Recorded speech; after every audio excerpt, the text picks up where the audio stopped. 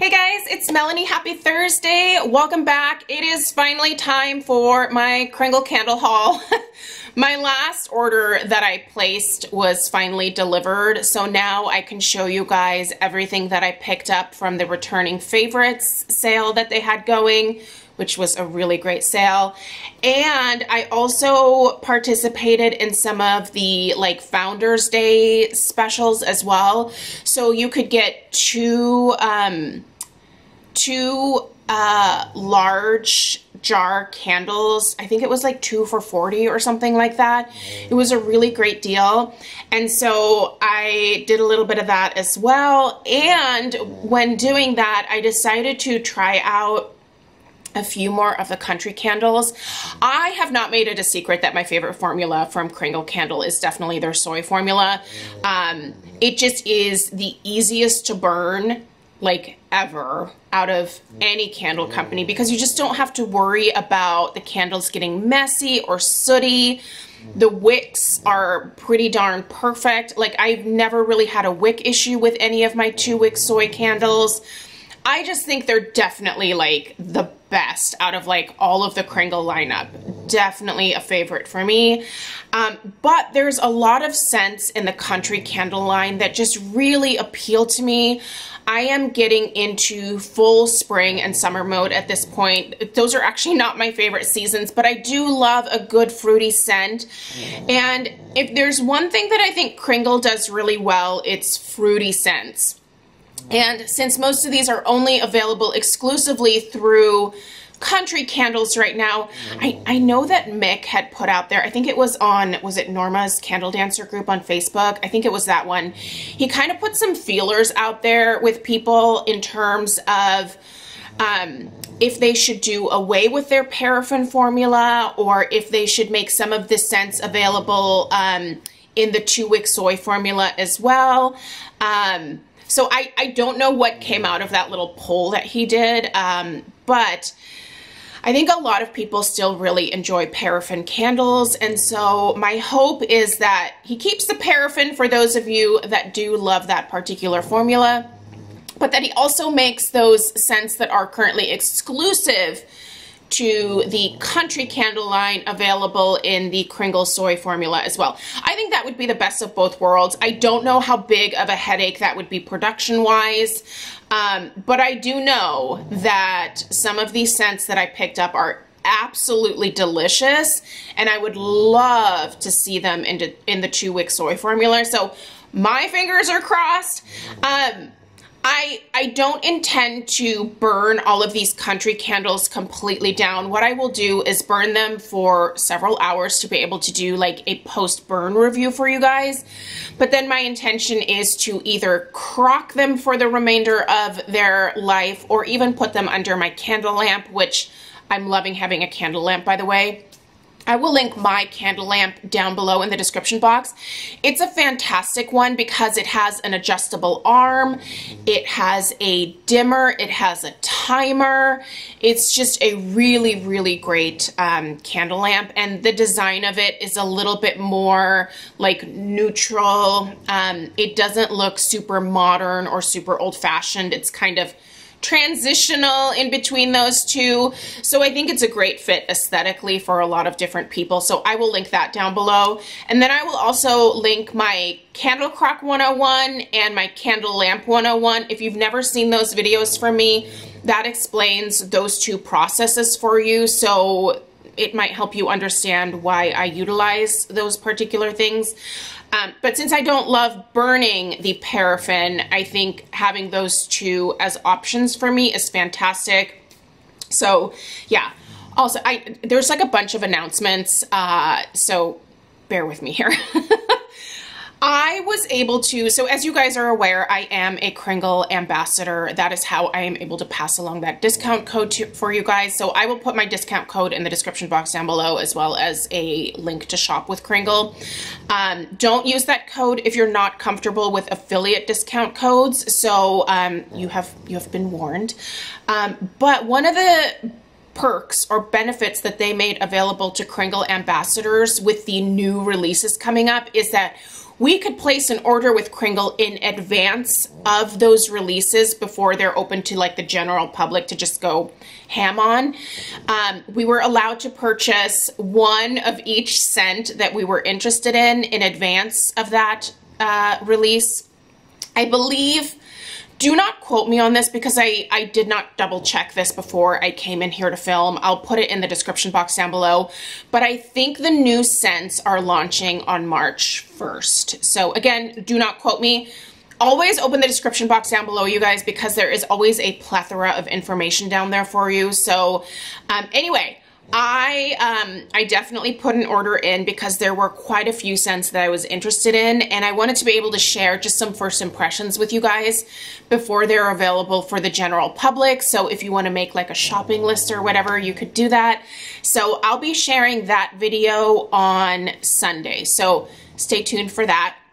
I have so many home fragrance related videos coming up for you guys, to be totally honest. Um, so if you're interested in that kind of stuff, just make sure you're subscribed and turn on the bell notification. That'll make those videos pop up as soon as they're available. And let's get into the haul. First of all, I have one burning behind me. Okay, so this is the returning favorite pink grapefruit. If this is still available, and you love pink grapefruit, let me just tell you, this is straight up pink grapefruit. There is nothing really like extra in this to me, maybe except like a little bit of sugar. When you eat your grapefruits, do you sprinkle a little bit of sugar over top or do you just go straight in without the sugar? I can go either way. I do actually like that bitter kind of citrus taste that a grapefruit gives, but I also like a sweeter grapefruit as well. So this one here is a sweet grapefruit, not cloying or overly sweet, but very authentic and a friggin' powerhouse. This two wick soy candle almost scents like the bulk of the downstairs of my house, which typically Kringle candles do not do.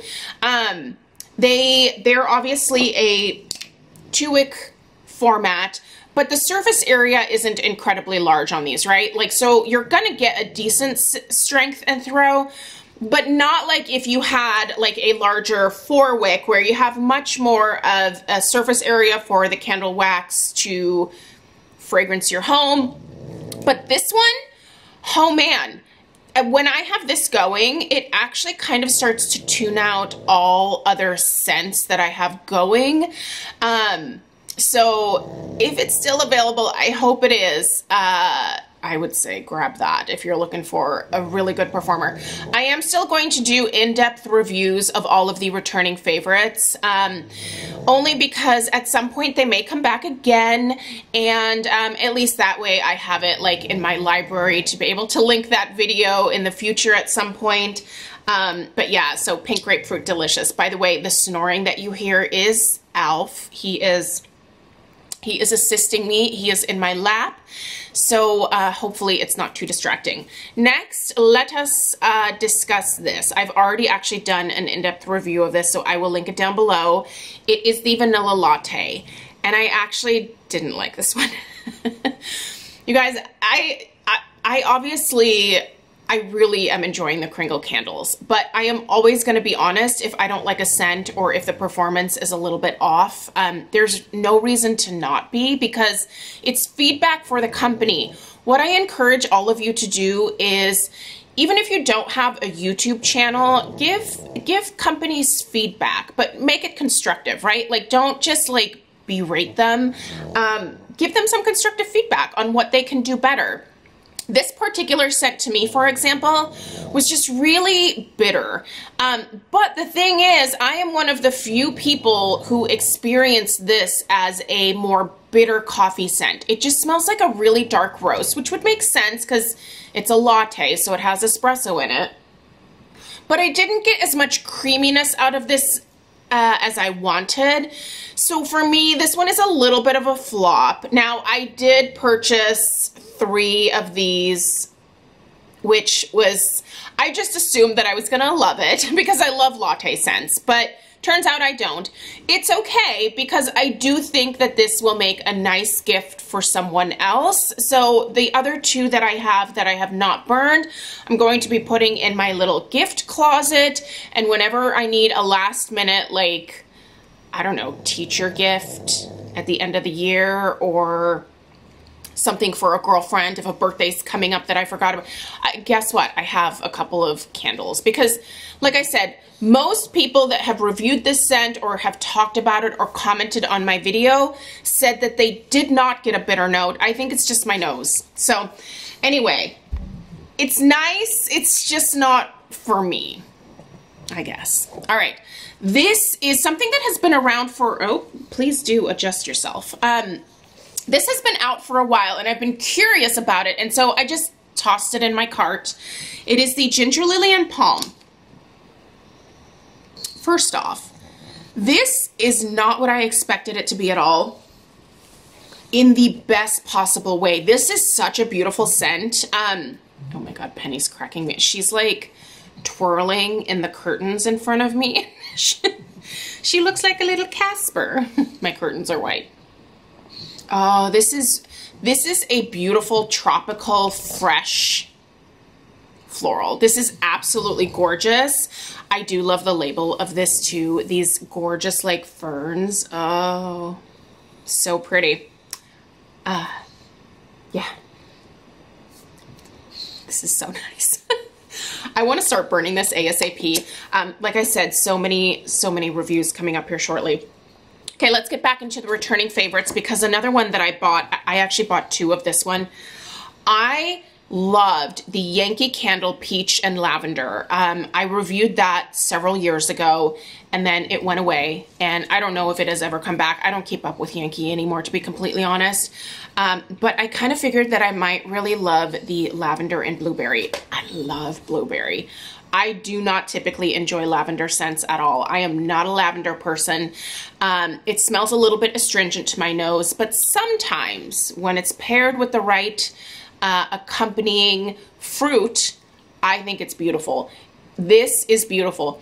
I am already beyond the halfway point with my first one.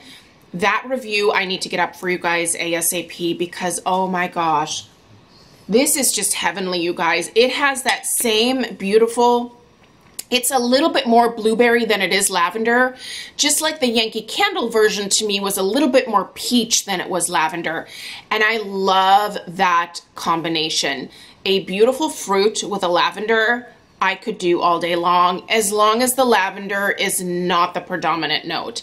This, the label, the scent, all of it, beautiful. This one, I was not sure about this at all. I kind of took a big chance on this one when I bought it. The apple basil. I'm glad I took a chance, but it is very herbal and it's very crisp, fresh apple. It's almost like a, I don't think it's McIntosh. I feel like it's like a Fuji or something. Those really crisp, crunchy Fuji apples with a really nice basil, which, you know, you wouldn't think to necessarily pair together. It just makes it a little bit fresher. It makes it um, a great kitchen scent for sure. I see myself probably enjoying this one a little bit more during the summer months or maybe even as a fall transitional scent that's going to be a little bit different. So I'm hesitant to burn this now because it feels a little bit more even more seasonal to me than some of these other scents. Um, and apple for me is almost exclusively always a early fall transitional scent. But I might be able to enjoy this during the summer, so we'll see. All right, another one I picked up was watercolors, which by the way, for a little while there was like 15 bucks on sale. I hope this isn't going away because this is really beautiful. Oh, I think Penny needs to go out. All right, and I'm back. Where was I? Watercolors. This is so pretty. This is very perfumy um, and powdery. But it's it smell it smells like a fancy lady perfume. but like a really soft, beautiful women's fragrance. I would totally repurchase this. Now, I don't know about the performance of it. I feel like this could be a lighter candle in terms of strength and throw. This might be a really great like bedroom candle, but I hope I can make it work downstairs because I really would love to be able to smell this throughout the entirety of my house down here. It's stunning. This is a gorgeous scent, you guys. Oh. Again, I'll be putting a link to Kringle down below if you want to go read up all these scent notes. I did not write them down before filming this video, so I'm just giving you some like first sniffs. Hopefully I don't the camera here. All right, so here is, here's the rest. vanilla cone. All right, so I, I have a, a little bit of a history with vanilla cone in that this was back in the day when I did not love Kringle. back when they were still doing their paraffin formula in these style of jars. Um, I liked this scent a lot, but the performance was just atrocious. So to get to try it now, years later in the two-wick soy formula, which I love so much, I am hoping that this is going to just rock my world because is there anything better than boring vanilla ice cream in a waffle cone? Well, yeah, I mean, you could mix like Heath in there and just, you know, like go the Cold Stone route and put all sorts of extra things in here. But I do love me some beautiful, just plain vanilla bean ice cream in a waffle cone. Sometimes boring can be really delicious, right? This is, this is really nice. This waffle cone, the waffle cone part smells a little different than it did in the past, but it has also been several years since my experience with this. So, um, and I might be used to that waffle cone note from the, what is it? The, not berry pumpkin waffles. The Bath and Body Works one. Berry waffle cone. There we go. Mm -hmm. My memory. Don't, please do not rely on my memory. It's awful. Yeah, that the waffle cones I feel like smells a little bit different. Not bad, but maybe a little bit more maybe it's just overall more creamy smelling. I don't know, but I do like it. I do like it. So I'm very excited to light this up. I thought this might be a good, like, fun summertime scent. I will re-review this one in the new format once I light it up, so stay tuned. Um, let's keep going. You guys, I bought another apple cider cake, and this is in the country candle because um, I can't get it in the two wick soy. This is one of those scents that I would just love for Mick to move over into the soy formula because this to me is my favorite type of like fall apple spice type of scent there's something about it that's different. It really does smell like an apple tart. It reminds me a little bit of the Tarte Titan. I always struggle with that, Tarte Titan uh, from Yankee Candle. Um, I have, I think, two of those left in like the, the medium jars from Yankee back in the day. There's, yeah, it's that, it's like a tart note. Not, not tart as in like you know, like taste tart. Look, but look at the dish, a tart. Like an apple tart. There we go. this is so beautiful. I love this, and um, I, I wanted this for fall. I realize we're not even in spring yet. I know. I know. Okay, cotton candy clowns. this was a little bit of a uh, Stella influenced purchase because she saw not only the label on this, but she saw the color of the wax and she said, if you don't buy that, it would be so silly, mom. And so in the cart it went. Man, I hope this performs because it smells really good.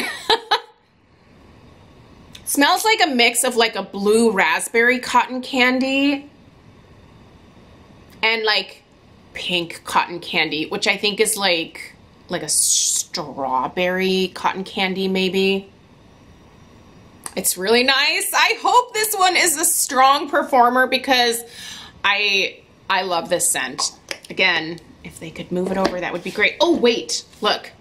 Let's let's do one more of these. You knew another one of these was coming home, right? Because I love it. I've got one in there under that cloche. Um, Sicilian Orange, get out. This is by far, hands down, if I could tell you to just pick up one, just one candle from Kringle ever in your life, and well, you have to like fresh scents. This is very fresh. This is so authentic, you guys. This smells like beautiful, fresh oranges with a slight green herbal note, but the herbal note does not overtake the orange. It just complements it. It is fresh, it's clean, it's beautiful.